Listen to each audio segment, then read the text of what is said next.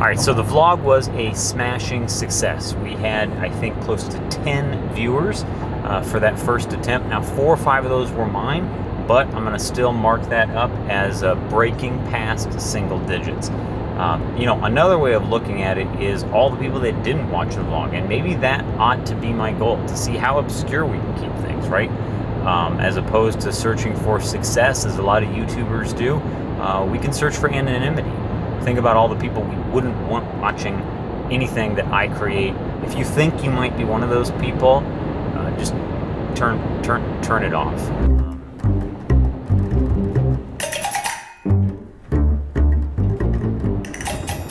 So Pammel State Park is kind of near Winterset. It's a little bit southwest of Winterset, and uh, it's a place I've been a few times to run. But uh, today we're going to go out and bike around the area. One thing I'm hoping that we can do is there's kind of a crossing of the river where uh, it's built up and the river's super shallow. I'm hoping I can ride across that without any trouble, uh, but I'm not 100% sure. And today I'm carrying all of this camera equipment. The bike itself is significantly heavier than it than it would be normally, and so I worry a little bit on some kind of slick surfaces, keeping things upright and uh, the consequences if, in fact, I do uh, I I do crash.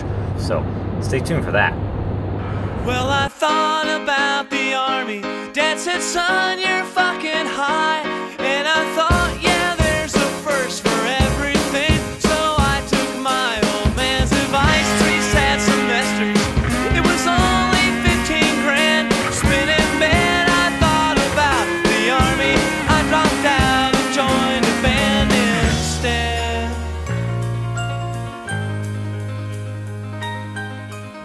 Area that we're headed out to today is in Madison County, and for those of you who remember the title of the movie, The Bridges of Madison County, we've got a bunch of these really cool covered bridges. Uh, I don't know what the purpose of them is. I should probably do a little bit of research uh, just to satisfy my own curiosity.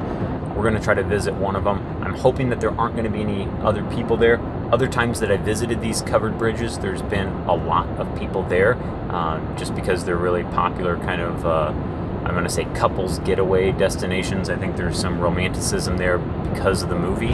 Um, but the one that we're going to go to is actually southwest of town. So people coming from Des Moines are going to have a lot of other bridges to choose from uh, that are going to be closer than the one that we're going to be able to go to. So I'm hoping that no one's going to be there.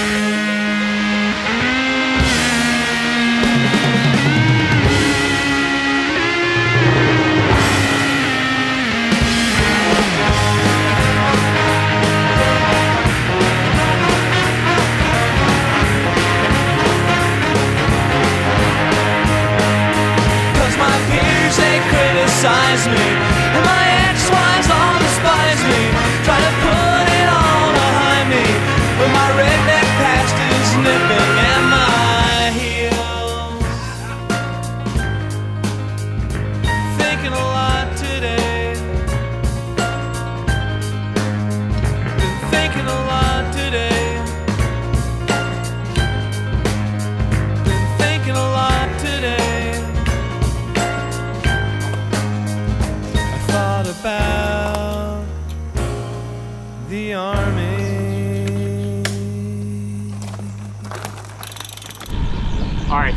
Just I have just started my ride now.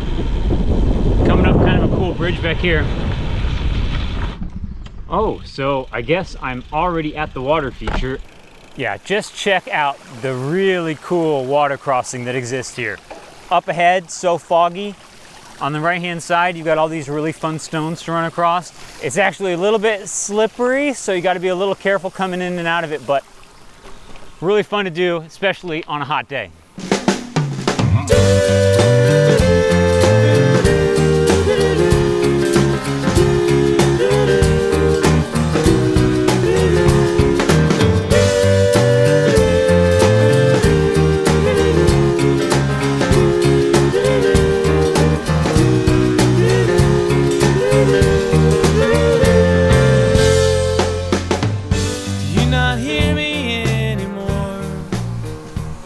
Of the things I like about this place is just how quiet and secluded it is.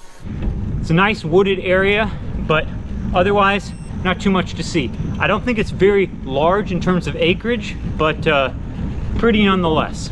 As we exit, I think we're gonna go more into farmland, and we'll take a look at that here coming up. We just left the park and uh, headed out on the gravel roads. So one really nice thing about central Iowa is that there's a really extensive um, rail to trail conversion bike path. And I used to ride that a lot when I was younger. And I would always, as you were crossing the roads, these kind of country roads that were out there, just in the middle of nowhere, I always look down those roads and wonder, wonder what is down that road, right? Just kind of that sense of uh, wanting to see what's beyond your, your immediate line of sight. And it's funny because I don't know why it took me so long to realize you could go out and get a bike at any point in time and uh, and find out. It's totally it's totally possible. And uh, I wish I'd done it when I was younger and I had a lot more endurance. Nowadays, it's a lot harder to make those kind of big efforts without feeling tired like I need to take a nap the rest of the day. And yeah, Sarah, she can tell you that even my small outings oftentimes result in a nap on the couch, much to the delight of, uh, of no one. Climbing's really my favorite part of biking, most likely, and I know that probably sounds strange to people that don't do a lot of climbing, but for me, there's something really rewarding about it.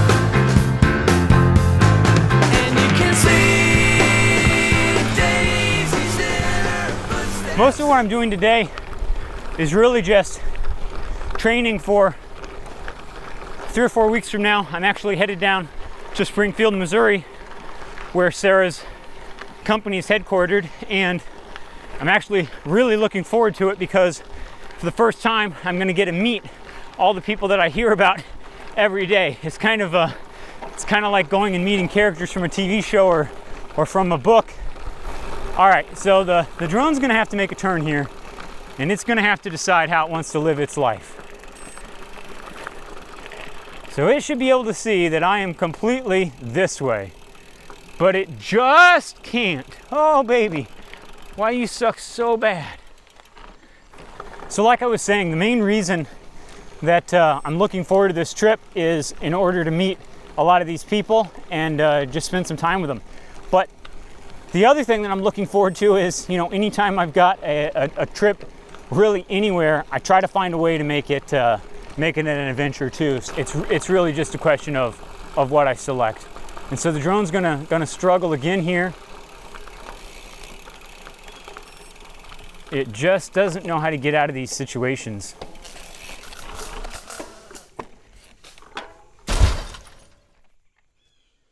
The drone just crashed, and uh, yeah, that's real unfortunate. But luckily, uh, while this is my first crash with the uh, Mavic 3 Pro, uh, I have crashed my uh, my my Mini 3 Pro a number of times at this point. Uh, one irretrievably into a pond.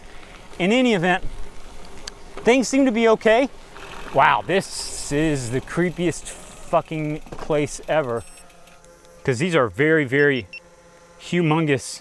I don't know if they're like turkey vultures or or what. You can you can tell that my education was really geared toward animal identification.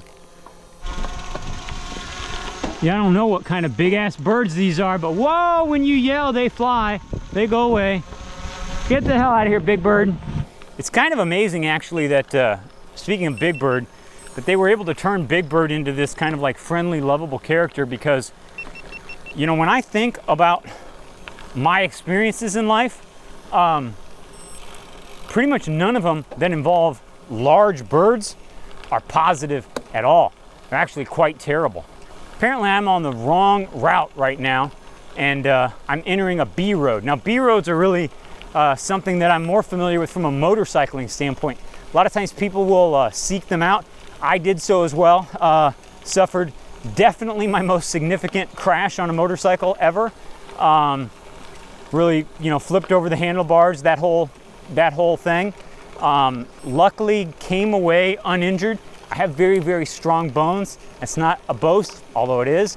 Uh, it's just, it's just a fact of the matter. I always find these kind of churches that are totally in the middle of nowhere to be really odd and kind of interesting. Here's a little look at this church. And it's just a really small little church.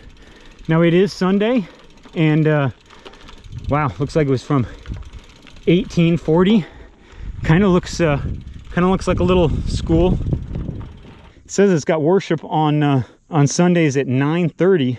Right now, we're at uh, 8:50. I don't see anybody around, so there's a part of me that thinks this is no longer operational. On the other hand, it's uh, it's really, really well maintained. Actually, still church is so strange. Um, 1889. So you know, it's interesting to think.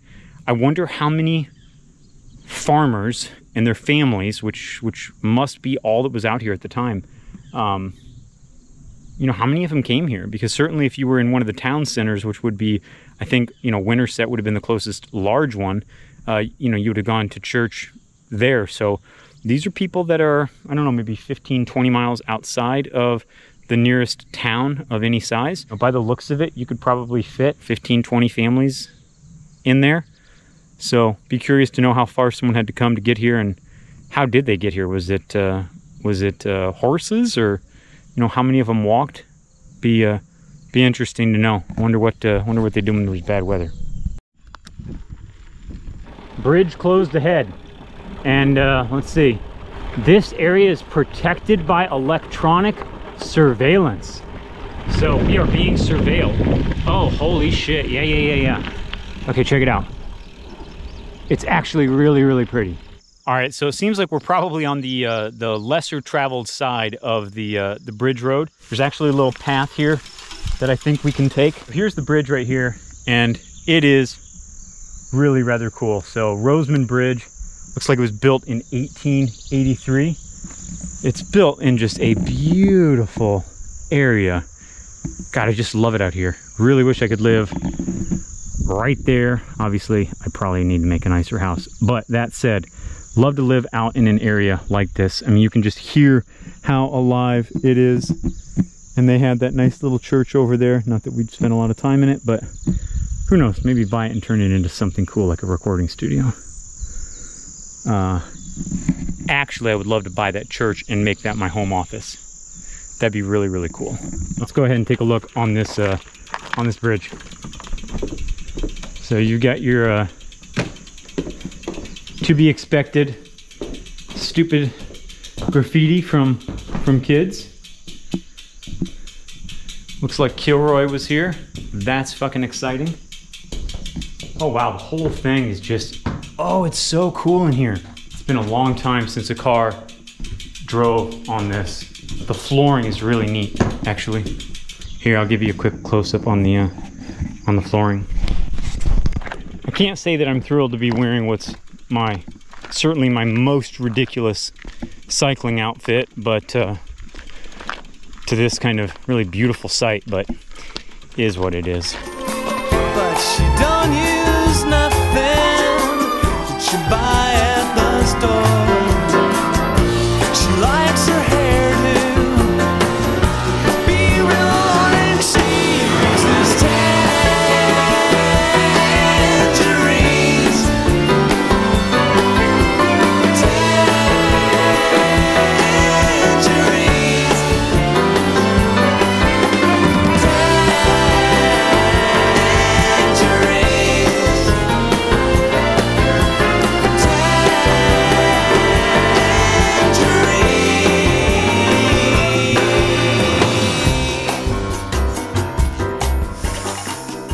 All right, so I'm at the Roseman Covered Bridge right now, and uh, it's actually been a really, really cool place to uh, to check out. There's the there's the nice little church down the road, and then this is the covered bridge. I did look up the situation with that church to find out, you know, is it an actual church? Um, I didn't find the answer to that specific question, but what I did find is that apparently it's a venue that people use to get married at.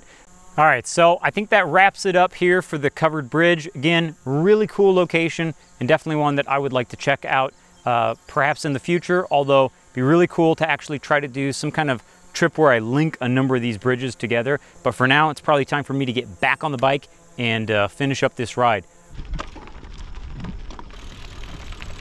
All right, it's slightly off route for me, but there is a really beautiful blue barn up here, and uh, I gotta swing over and check it out. I used to uh, always really be intrigued by the, uh, the broken down kind of old busted barns that you would see on the side of the road when you were out in the, in the country.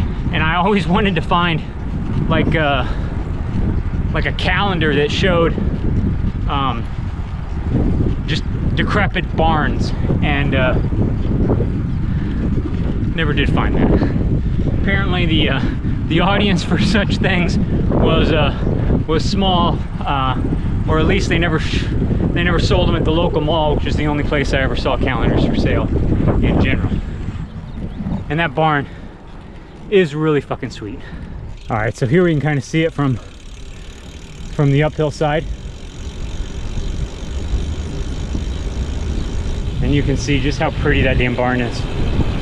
I love it. Yeah, super cool. I'd love to live in a place like this. Maybe the one uh, one change I'd make is I would not want to live on a paved road. Like I've talked about in the past, paved road is no good because a paved road guarantees there's a lot of traffic on it. Uh, otherwise, the state wouldn't bother to, to pave it. Actually get online and find uh, traffic maps and it will show you kind of in a color-coded uh, way what the average daily number of vehicles that pass uh, within a certain section of road. And that's really what I have always used to uh, to plan routes when they were far from home and I, I just was not familiar enough with the, uh, with the area. All right, coming up ahead, you can kind of see it, I think in the distance, although it might be a little hard on the GoPro, is something referred to as uh, the Rippy Dumps. And I found this online a while back looking for the steepest and hilliest spots to ride in Iowa, and this comes up as uh, as one of the routes. Unfortunately, I put it kind of toward the end, and it's 90 fucking degrees, which I don't like. When the gravel is really loose, it's hard as hell to climb because you've got all of your power going on your back wheel, and you've got your weight forward naturally from a balance standpoint over the bike. I do not like the way this is already starting out.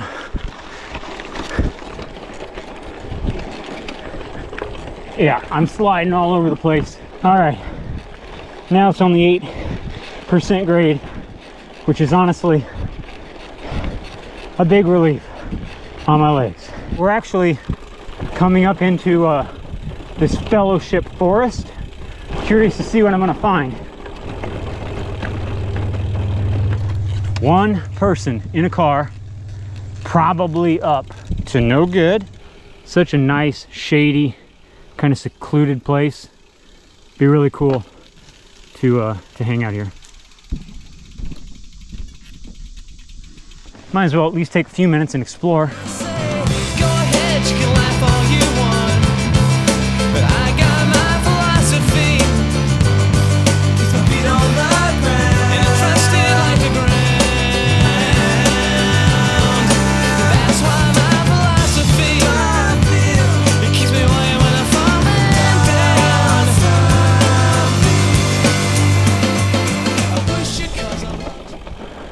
Nice little trail, pretty short. Survey fucking says homeboy is gone. Kind of expected that. All right, we're back. So it pretty much takes us through the entirety of the ride.